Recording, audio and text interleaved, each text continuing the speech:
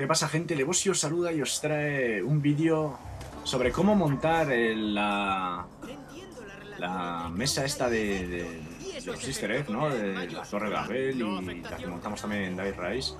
Eh, yo acabo de coger la pieza aquí, el, meteorito, se ve cuando empiezas la partida, miras abajo y suele verse una piedra rosada. Yo solo, de momento la he visto solo ahí.